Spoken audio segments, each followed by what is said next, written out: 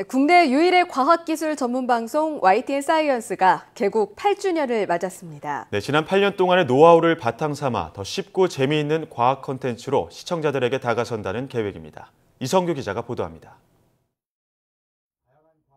지난 2007년 9월 첫 전파를 송출한 과학기술 전문 방송 YTN 사이언스.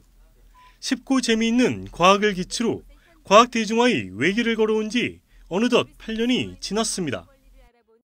생생한 국내의 과학 뉴스와 자연과학에서부터 첨단 ICT, 청년 창업까지 다양한 콘텐츠가 어우러지면서 개국 당시 290만이던 시청 가구는 2,070만 가구로 늘었습니다.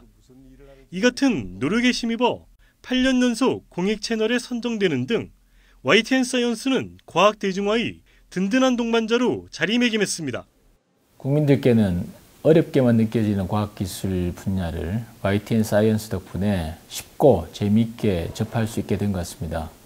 과학기술을 통한 창조경제를 구현한다는 정부의 어떤 정책 방향에 맞추어서 많이 그리고 국민들이 쉽게 접근할 수 있도록 계속 노력해 주시기 바랍니다.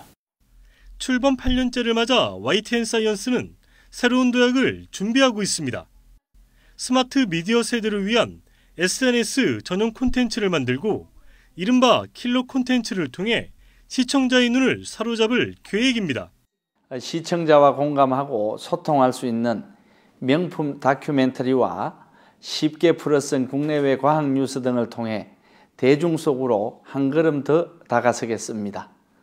YTN 사이언스는 콘텐츠의 해외 공급 프로젝트인 K-사이언스 사업을 통해 과학 한류의 새로운 이정표도 제시할 계획입니다.